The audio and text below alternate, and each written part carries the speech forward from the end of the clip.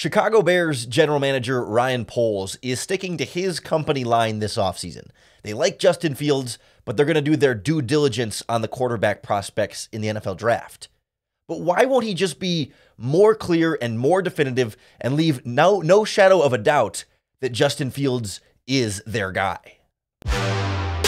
You are Locked On Bears, your daily Chicago Bears podcast. Part of the Locked On Podcast Network, your team every day.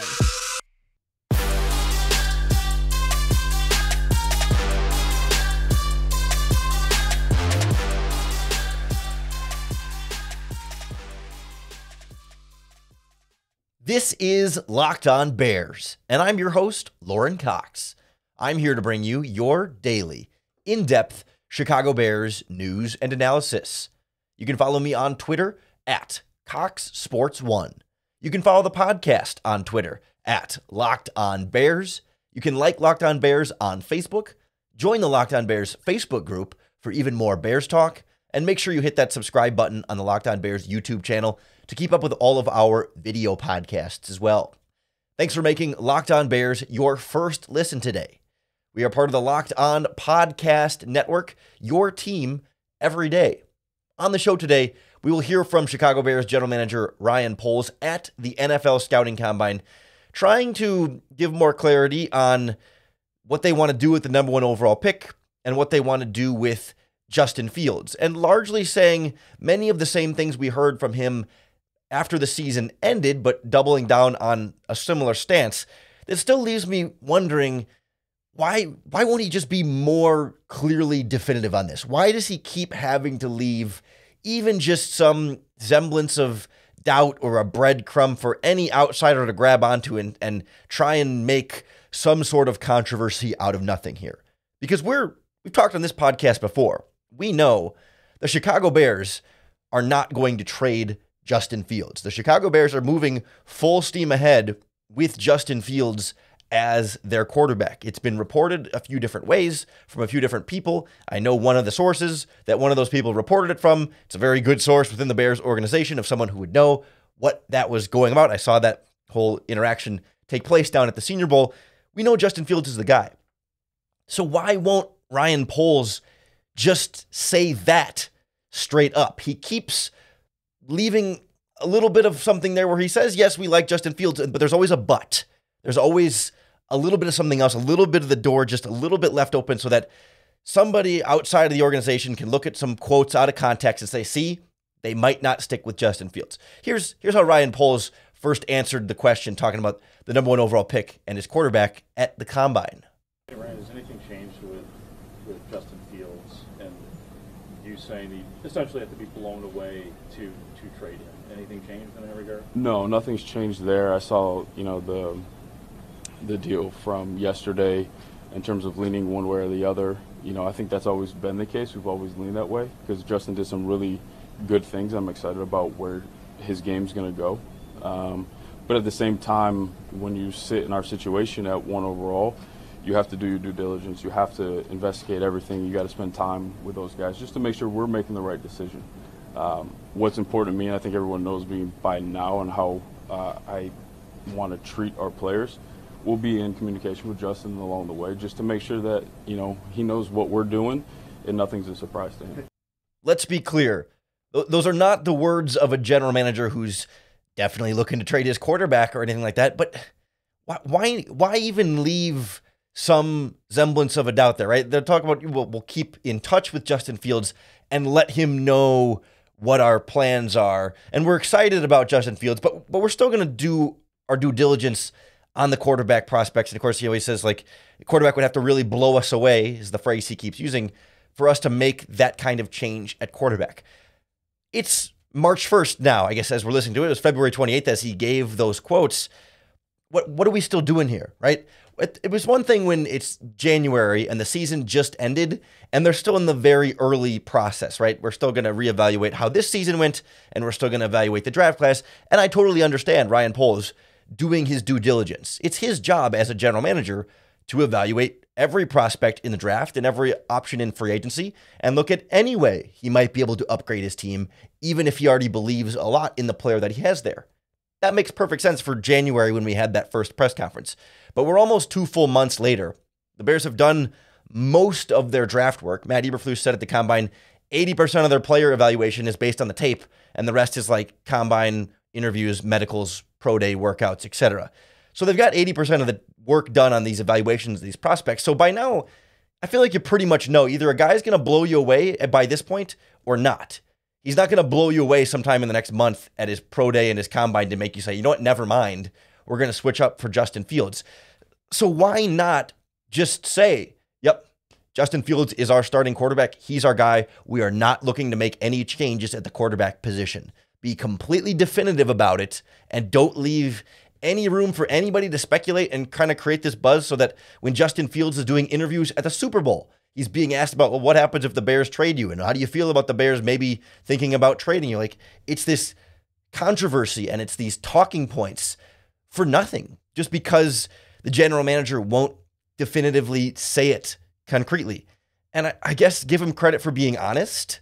And I do, I appreciate honesty from the GM and I want honesty and transparency from the general manager, but I mean, at some point here, what what what are you gaining by keeping this door open just a just a tiny little bit about maybe we could still look for another quarterback in this draft and maybe this maybe that. I mean, is that is that helping to generate trade value for the number 1 overall pick? Are are teams more likely to trade to one if they think you might take a quarterback because if you're going to take the quarterback, then you're not going to trade the pick. So why would them thinking you might like a quarterback Make it, do they think, oh, well, the Bears really like a quarterback, but if I just up my offer a little bit more, maybe they won't want to upgrade the quarterback position? Like, of course, every team wants to upgrade the quarterback position. The Bears wouldn't trade down if they thought one of these quarterbacks was going to blow them away. Like, if the quarterback was going to meet the criteria to blow them away to get rid of Justin Fields, then it's going to meet the criteria to not trade down from the number one pick. So I just don't feel like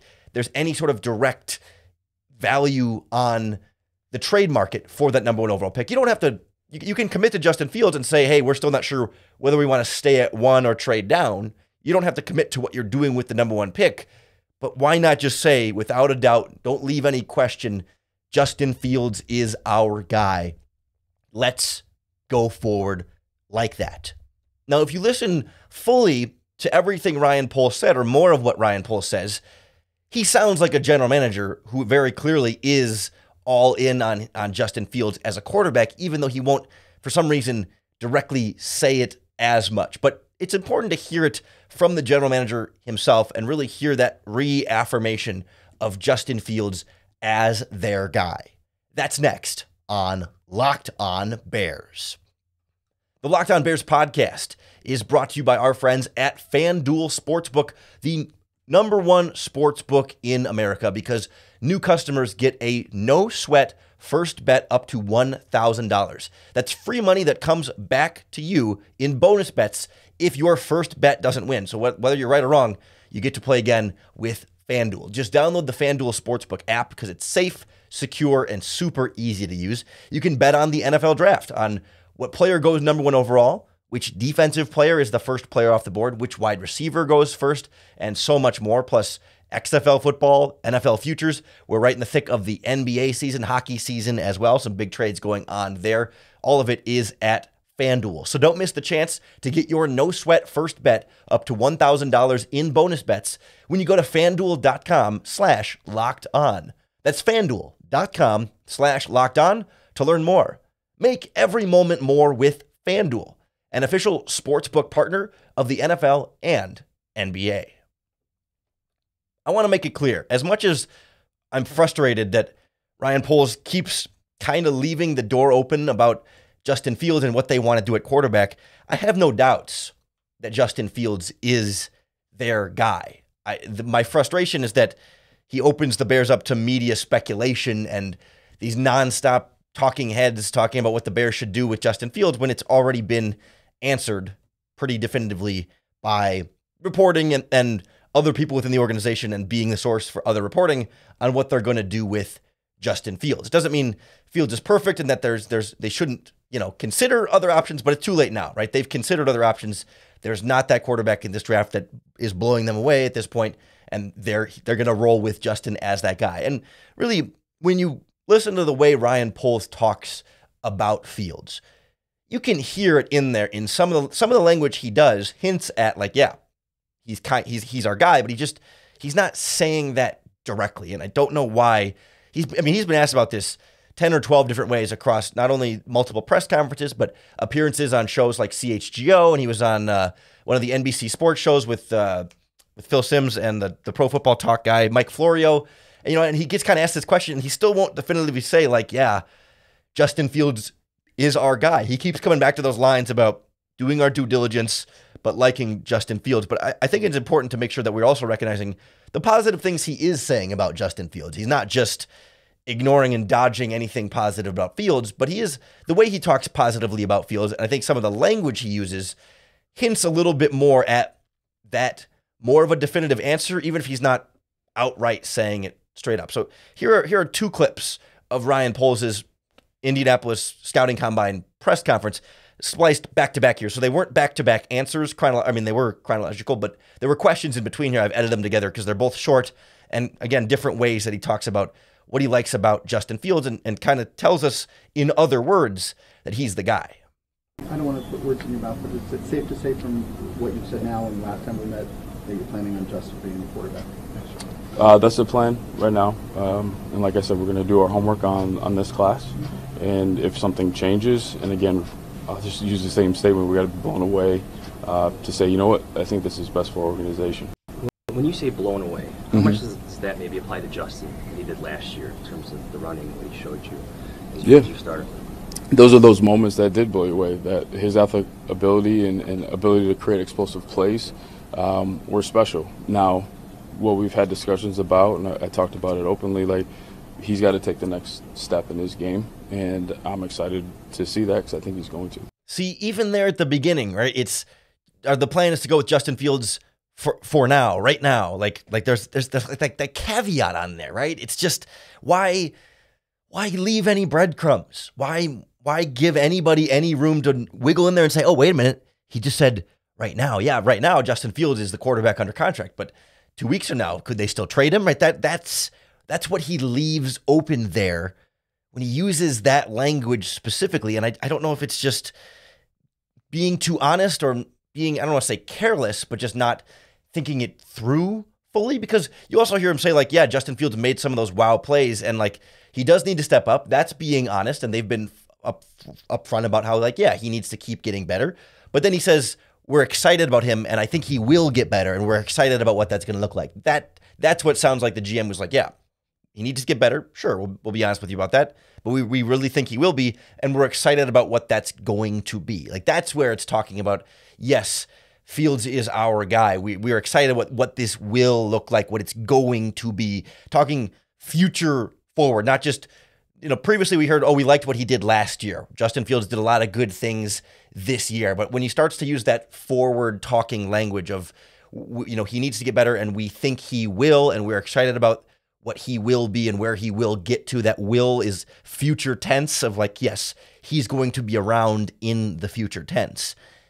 I think why the reason why he throws the Justin is our guy right now, or is the plan right now. The plan right now, for now, is Justin Fields as our starter. Is that you know they're not sure Justin Fields is the starter for five years, right? He's he's the plan in 2023, and there's a separate discussion to be had here about next offseason.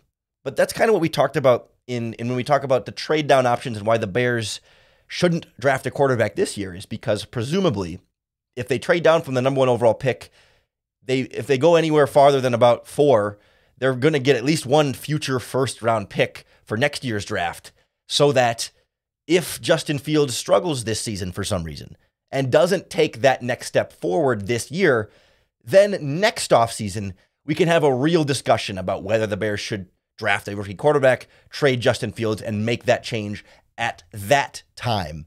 And that's why I think Ryan Poles says for now there and, and hasn't been as definitive as like Justin is our long term guy, but I do think they're very clearly Justin Fields is their short term guy. And it, it just, I, I haven't been able to find a good reason why Ryan Poles hasn't been more definitive about it. I mean, he he was asked, like, have people called about trading for Justin Fields? Or he was asked, have you received calls from teams asking if Justin Fields is available. And he said something along the lines of, no, no one has asked us that specifically yet. Like, they haven't spe- specifically gotten trade calls for Fields. He's gotten trade calls about the number one overall pick, but you haven't had teams specifically trying to pry Fields away from him. Like, all the evidence points to, like, they're not going to trade Fields. They don't want to trade Fields. Field is their guy. Why won't he say that? Just plain and clear. Hey guys, let me end some controversy. Like by comparison, I don't know if you saw on Thursday or excuse me, on Tuesday at the combine, the, the Cincinnati Bengals general manager, Duke Tobin, came out, was asked about trading Tee Higgins, who Bears fans would love to trade for. And he said, listen, man, Tee Higgins is a great player. We want to have Tee Higgins around. And, you know, we keep hearing about all these other teams wanting to trade for Tee Higgins. Tee Higgins is our wide receiver. If you want a wide receiver, go find one of your own because you're not getting ours. He came out and said, we are not going to trade Tee Higgins.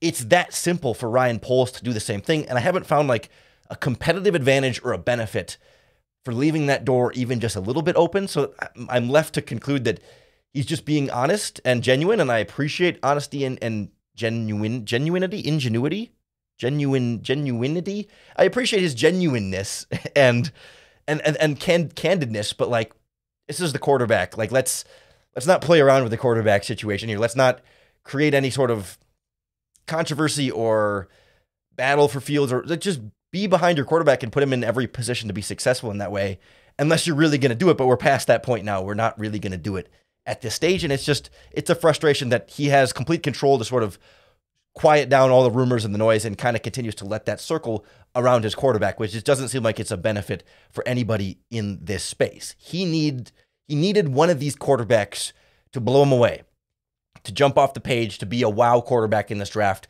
that they felt like they just have to upgrade Justin Fields. And even though he says we're still evaluating and we're still doing our due diligence, I think we're at the point where we know these guys aren't quite yet. And I, and I want to I really want to take the time to to make that clear because we should do our due diligence on these quarterback prospects and we'll go through what these quarterback prospects have and what they're lacking and why they they're not quite the blow you away quarterback prospects in this draft next on Locked On Bears. I think it's a good idea for Ryan Poles to always evaluate the top quarterbacks, especially when you have the number one overall pick.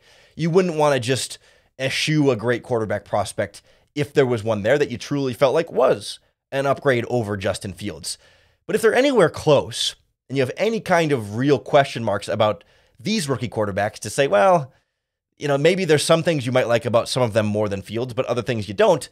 That is not the blow you away type of decision where you risk it all to try and get the truly better quarterback option for your team. And that's exactly what we're sitting with here in this 2023 NFL draft.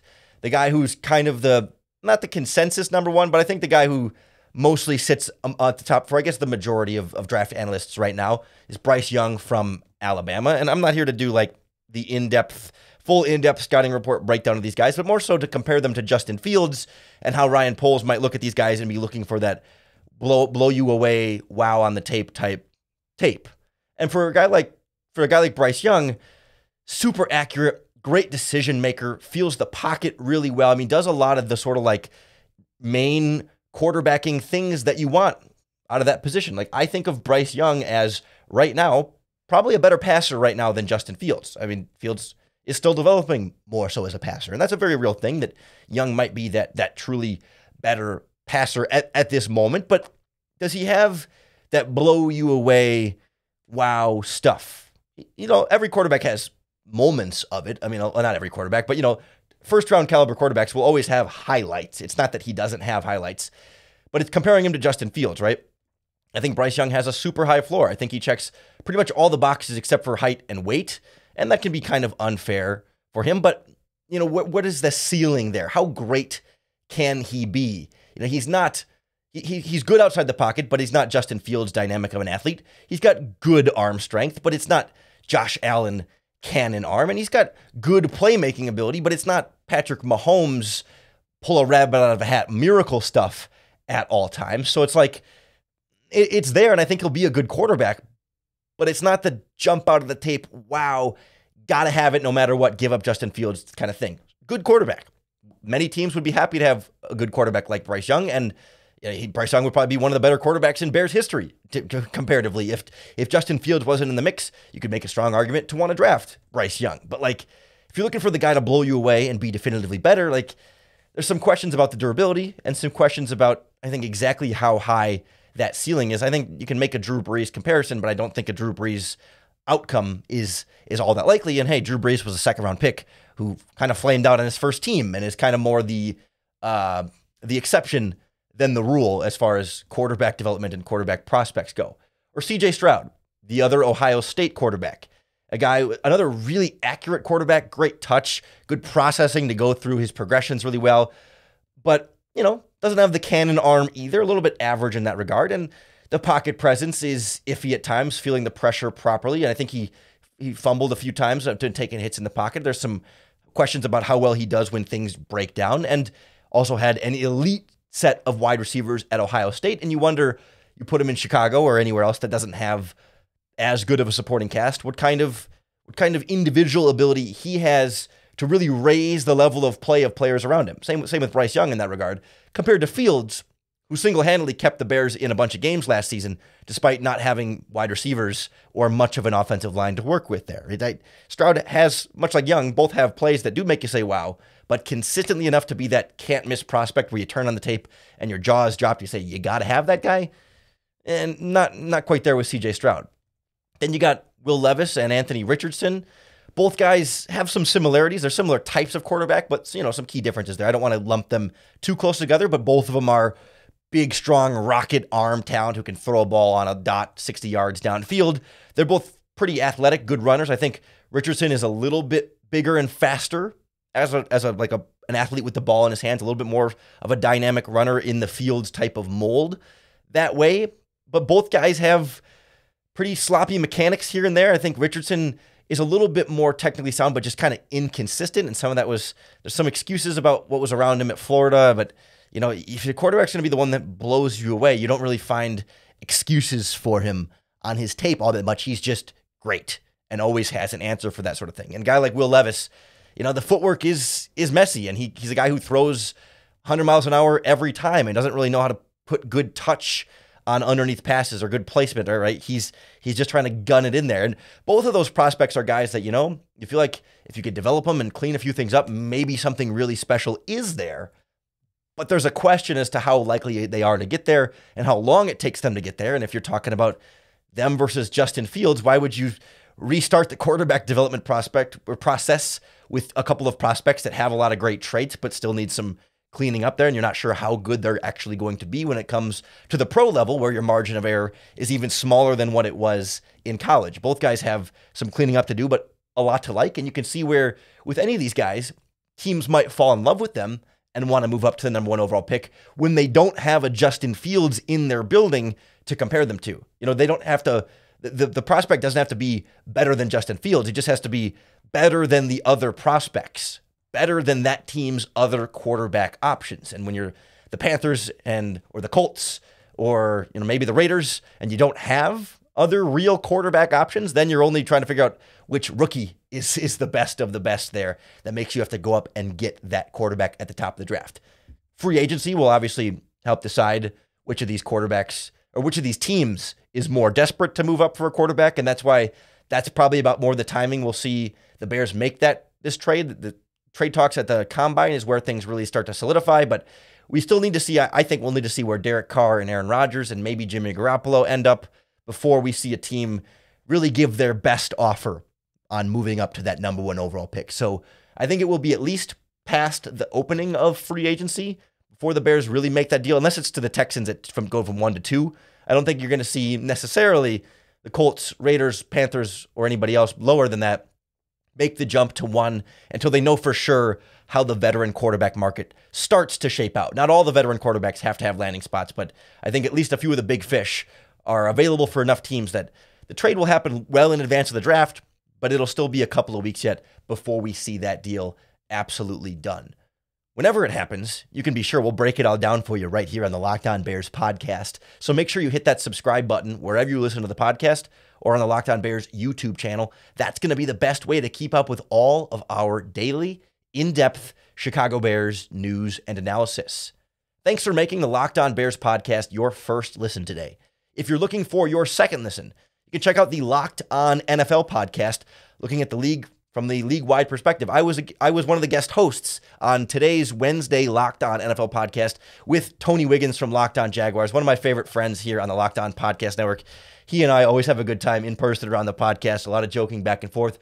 We talk about players to watch at the combine. We talked about Andy Reid and how one more Super Bowl win this year has kind of bumped him up in the echelon of coaches and took uh, one of the big kind of pressures off his back to really win that second one. And we talk about Aaron Rodgers and whether he still belongs in the conversation as one of the top quarterbacks in the NFL and one of the top quarterbacks all time, and whether the off field stuff is tainting how we view Aaron Rodgers as an on field quarterback. So, quite a smorgasbord of NFL talk for you on the Locked On NFL podcast. I mean, you can stop listening before the Aaron Rodgers stuff if you don't want to hear more Aaron Rodgers talk, but go check out, we talk about some NFL scouting combine prospects. And Andy Reid stuff is really interesting. He's an interesting, fun coach. And we have a, a fun kind of back and forth, lighthearted discussion about how we view the best coaches in and around the NFL. So check out Locked On NFL for your second listen today. Coming back to Locked On Bears tomorrow to make it your first listen once again tomorrow. And of course, you have to come back for your next opportunity to bear down.